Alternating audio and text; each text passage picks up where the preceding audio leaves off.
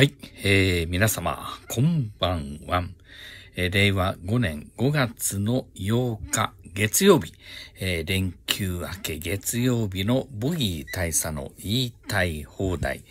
えー、私担当の、えー、ボギーテドコンでございます。えー、今日もですね、音声良好ですということで、ハチさんの方からレポートいただいております。江戸前あさり小僧さんからはニラでございますね。ニラですよ。ニラ。それから、コシさん、ボギー中佐、お見えでございます。サトシさん、塩サバさん、こんばんわんこでございます。江戸前あさり小僧さんからはニラですね。ニラです。やっぱりニラ。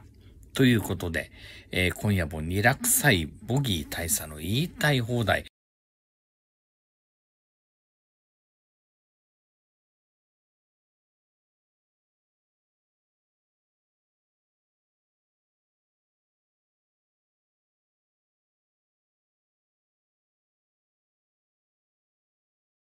パープルのね、綺麗な花のね、写真をお見せしております。実は今日ね、このしょっぱなから花を見せてる理由は、実はね、これでございます。はい。えー、今日はですね、カタカナのハチさんの誕生日ということでございまして、えー、ハチさん、まずは、まずまず、ハッピーバースデーということで、えー、今日のしょっぱなのページは、えー、綺麗なね、パステルカラーの、えー、花をね、お送りさせていただきました。まあ、なんとなくハチさんのイメージにぴったりのね、あの、花だなと思ってチョイスしてみましたけど、いかがだったでしょうかね？はい、ハチさん。何歳かはお聞きしませんけど、いや、やっぱりね、あの、誕生日、みんなでお祝いしたいじゃないですか。本当はね、同じ地域に住んでたら、どっかの居酒屋でドカーなんてやってると思うんですけどね。あ、神戸さんどうもお久しぶりでございます。あの、そろそろ沖縄もね、賑やかになっていきましたし、そういったね、神戸さん、あの、いろいろ、またね、えー、基地内留学等でいろいろ力を借りることが多分出てくると思います。あの、前にお話ししていた、えー、基地内留学。はい、沖縄のね、あの、子供たちを、まあ、基地内留学させることについての、まあ、閣議決定がとうとうね、通ったということでございまして、まあ、本年度は本格的にその下地作りが始まりますんで、神戸さん、いろいろ力を貸してください。それと、コシさんの方からは、クラッカー、モンドさんからはニラでございます。ニラ。ということで今日はね、あの、非常におめでたい日、カタカナのハチさん、ハッピーバースデー、誕生日おめでとうっていうことで、えー、最初にね、えー、お送りさせていただいております。いやーなんかね、なんか、いい気分ですよ。はい。自分たちのね、こういった戦友が、えー、無事にこうして誕生日を迎えられると。毎年毎年こうしてみんなでね、お祝いできたらいいななんてね、私は思っておりますけど、本当はもうね、沖縄の海を見ながら、えー、波音を聞いてね、お肉をジュージュー焼きながら、おめでとうなんてね、やりたいんですけど、まだ完全にね、えー、コロナが鎮圧されたわけじゃないんで、まだまだね、観光客の戻りは本調子ではないかなっていうのがね、私の、まあ、見立てでございます。肉球さんの方からもニラでございます。はい、ということで、ハチさん、改めまして、お誕生日おめでとうございます。さて、えー、今日のね、まず話題なんですけど、まあ、南の島、沖縄。はい。今日からね、えー、なんと、コロナの感染法上の扱いが2類から5類に変わったということでございまして、何かと世の中、この件でね、騒がしかったんですよね。そういった中でね、この沖縄タイムズさんが、えー、新型コロナかもと思ったら、どうするのっていうね、えー、ちょっと Q&A みたいな、ちょっといい記事書いていたんですよ。だからそれからちょっとね、ピックアップしていきたいと思いますけど、いやータイムズさん、なかなかね、わかりやすいいい記事書いてくれて、ありがとうございます。はい。まあね、これね、ちょっとかいつまんでちょっと見せていきたいと思うんですけど、はい。あの、まずね、新型コロナ、コロナに、まあ、感染した人と接するなどして、えー、感染に不安があると。で、発熱などの症状がない場合には、えー、今までね、無料でできた PCR 検査は、ね、原則自費に変わるということでございまして、この検査費用、これね、場所によって違うんですよ。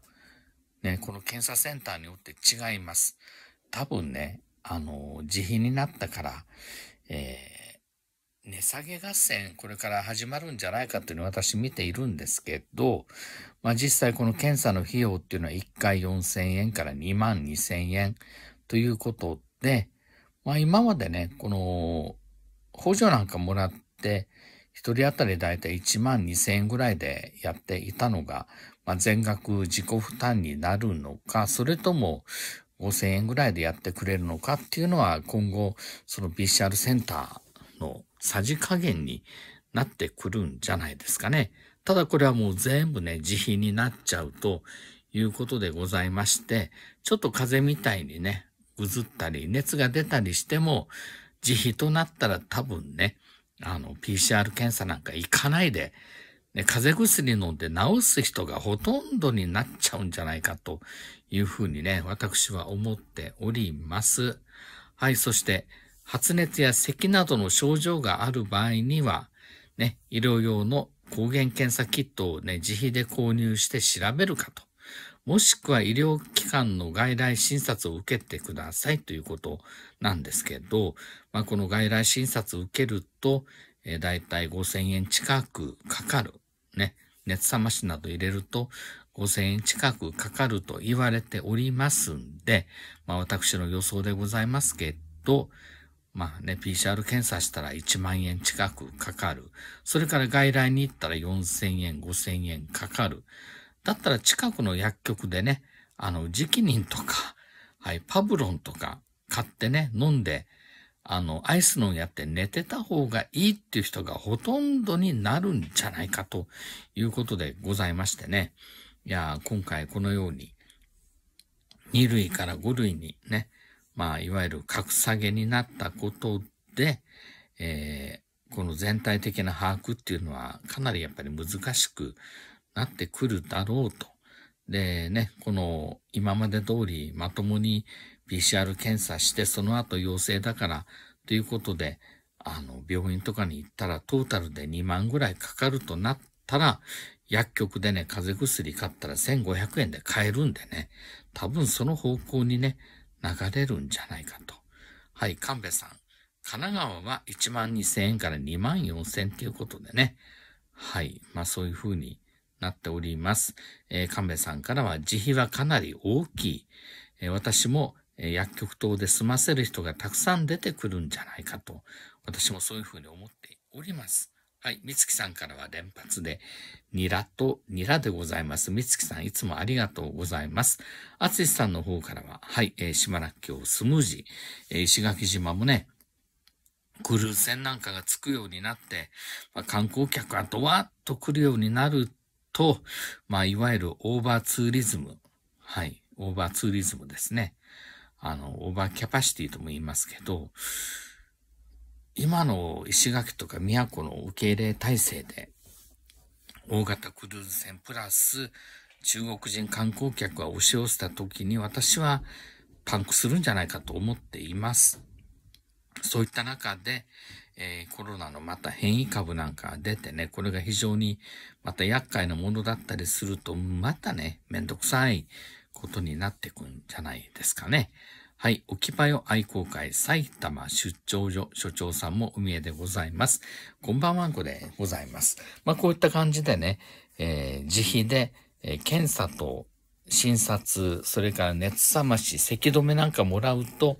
2万円近くかかる計算になります。まあ、それやるぐらいだったら、多分、ちょっとね、風邪ひいたんだよねっていうことで、あの、風邪薬市販のやつっていっぱいあるじゃないですか。あの、カッコン糖とか、直人とか、あとパブロンとか、まあ、こういう名詞はたくさん知ってはいるんですけど、まあそういったね、あの、ものを買ってね、自分で自宅で、はい、それ飲んで、熱がある時には、熱冷ましまあ、いろんなもの、熱冷ましもありますよね。あの、代表的なものは、まあ、バファリンなんかありますけど、まあ、そういったものを飲んで、えー、アイス飲んで頭冷やして寝てりゃ一日で治るわなんてやる人がこれからどんどん増えてくるかな。はい。あつしさん。ゴールデンウィークは西表竹富の入党がキャパオーバーでできなくなっていましたということで。ということは、これからね、あの、中国人観光客、もしくは韓国人観光客なんかが以前のように戻ってきたら、これはもうパニックになるんじゃないですか？はい。えー、沖場愛好会埼玉出張所所長さんからニラ行きますっていうことで、アムロ行きますではなくてニラ行きますっていうことで、ニラが飛んできました。神戸さんからは、はい、えー、文房具が飛んできております。それと島らっきょうスムージーもいただきますということで、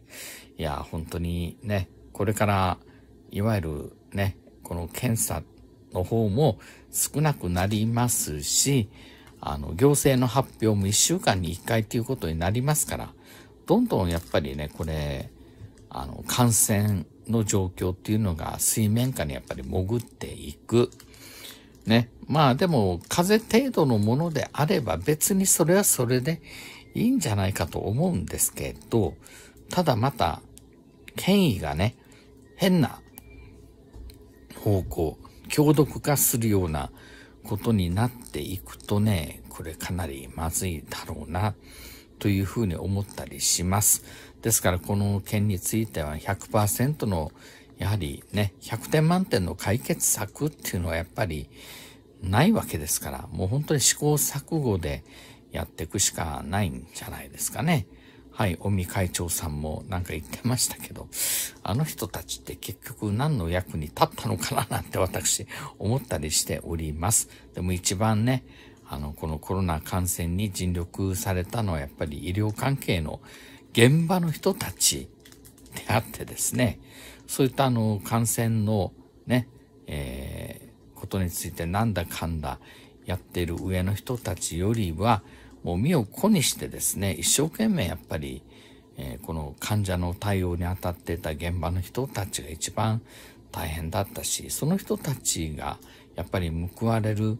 ね、あの、社会にしないといけないかなというふうにね、私は思っております。さて、えー、塩サバさんからは、一時期どこかの国の人間がね、えー、風邪薬や解熱剤を買い占めたということで、そうなんですね。沖縄でもありました。今でもね、那覇市の、えー、薬局では、ちょっと声の大きな国の人たちがたかってたりするんですよね。一体何を、はい、何を買おうとしてるのか、ちょっと意味がわかりません。さて、ここでね、ちょっとイベントのご紹介をさせていただきます。はい、長尾隆先生。はい、長尾隆先生。今はね、えー、議員ではありません。前衆議院議員の長尾隆先生が久方ぶりに沖縄で爆裂トークライブイン沖縄ということで5月14日、えー、これは、はい、復帰記念日の前日に、えー、結婚式場のマディエルオークパインでね、えー、公演をね、開くということで、これがまた無料っていうことで非常にありがたい。会場を借りるだけでも結構するようなとこなんですけど、無料でやるということでね、まあ、その詳細につきましては、えー、このように会場が18時、えー、開催が18時半ということで、えー、参加費無料なんですけど、申し込み制になっていまして、はい。えー、これ、はい、下の方に Gmail のアドレスがありますけど、ここのところに、まあ、メールを送ってね、申し込みをして、当日、えー、そこで、まあ、名簿とチェックをするという形になると思います。はい。いや長尾先生ね、いろいろこの沖縄の方にも足を運んで尽力してもらっております。まあいろいろね、あの、言われてるのも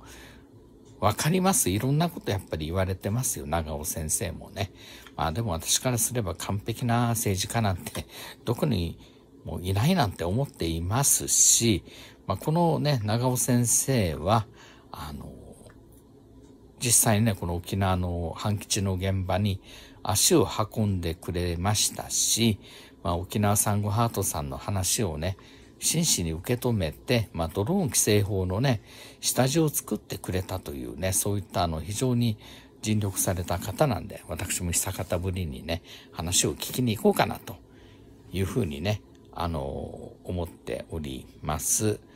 はい。ということでね、あの、沖縄県内在住の方、ぜひ、長尾先生のね、お話を聞いていただきたいなと思っております。さて、えー、今日はですね、この話を。はい、えー、これ緑色のね、あの、エブリーバンなんですけど、バンパーもね、あの、ちょっと短く切り詰めて、えー、車高もね、上げて、はい、えー、タイヤもね、あの、オフロード用のタイヤを履かして、なかなかかっこよく仕上げているなというふうに思います。結構ワイルドな仕様ですね。はい、このタイヤ自体もいい値段しますし、このようにね、車高を上げるのもお金がかかります。さあ、しかしなぜこれがね、あの、たっぴらけてると言いますけど、沖縄の方言で。へこんでるのはなぜでしょうということなんですけど、実は、この事件に使われた車なんですよね。はい。えー、実はね、昨日、あの、那覇空港のね、えー、フェンスをなぎ倒して空港内に突入して、飛行機に乗り込んだ38歳の男が逮捕されたということでございましてね。はい。逮捕されたんですよ。そしてその男が供述した話が、なんとね、飛行機に乗りたかったから、ということで、え ?38 歳ですよ、皆さん。38歳の男が、ね、飛行機に乗りたかったから、そしてお金がなかったからと言ってるんですけど、お金がないから、ね、あの飛行場のフェンスをぶち壊して突入をして飛行機に乗り込むでしょうか？ね。まあその突入した現場っていうのがここなんですけど、いや、本当に見るからに貧弱な、はい。本当に貧弱なね、フェンスなんですよね。はい、ゲートになっています。あの、米軍のね、え、辺野古の、えー、ゲートの作りと比べてもね、本当にただもう、えー、言い訳程度に、あのこうしてゲートを作っただけということでございましてね。はい。えー、実はね、あの、前にもお話ししましたけど、沖縄では、まあ、5年ぐらい前、はい、5、6年前から、全く報道されていないんですけど、米軍基地への侵入事件が相次いでいたんですよね、6年、5年前。どのような形でね、米軍基地の中に突入したかと言いますと、オートバイで突入をしてですね、中を走り回って捕まったやつもいますし、車でね、道を間違えたふりして入ってくるのもいるということでね、はい。そういったのも入ってきて、ちょっと走ったところでとっ捕まったりとかしているんですけど、米軍はそういった動きを、えー、単にね、道を間違えたからとは取らなかったんですよね。当時ね、あの、5、6年前と言いますと、この沖縄の反基地闘争、特にこのオスプレイ反対がかなりね、あの、賑やかな、ね、過激な頃だったんですよ。で、米軍はこの基地内への侵入がね、相次いだことに危機感を覚えてですね、沖縄県内の、えー、基地のゲートをね、すべて回収しました。すごい動きが早い。はい。今まではね、えー、国道とか道路から入ってきたら、えー、営門があってそこから中をね、スッと入れるようになっていたんですけど、今はこういうゲートはなくなっています。どのような形になってるかというと、入っていくと大きくカーブをした突き当たりに、いわゆるね、あの、チェック用のゲートがあって、そのチェック用のゲートをね、出てもまた大きく湾曲した後に初めて基地内の方に入れるというような感じになっておりまして、今まで一直線で基地内に入れていたのが、一旦大きく迂回をして、その突き当たりにあるゲート、はい、そのゲートをね、過ぎた、ね、過ぎてまた大きく湾曲して、やっと基地内に入れると。そしてその基地内にね、入る道路なんですけど、このゲートを過ぎたところに、なんと一瞬でね、持ち上がる、えー、車止め。はい、これ一瞬で上がります。何秒かかるっていうもんでもないです。さっと上がるんですよ。はい。いわゆるね、この A 門、ゲートでね、セキュリティチェックを突破されたら、ね、そのすぐね、あの、後ろ、えー、そのセキュリティチェックからどのぐらい行ったところですかね。だいたい20メートルぐらい行ったところに、えー、この、えー、せり上がる障害物が道路に埋め込まれていまして、これが一瞬でね、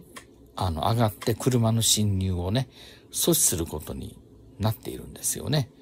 ですから、はい、まずこのゲートにね、たどり着く、セキュリティチェックにたどり着くまでに、今は距離がある。その間に不審な車は、やっぱりなんとなくわかりますから、えー、セキュリティの方もね、構えるわけなんですよね。で、その静止を振り切って、そのセキュリティゲートをね、突破しても、その先に一瞬でこの障害物が上がるようになっていて、そこから先にはもう行けないと。で、そこでね、車を乗り捨てて基地の中に走っていこうとしても、ここがまたね、湾曲した U 字型になってる場所なんで、基地に行くまでにすごいね、時間がかかるわけなんですよね。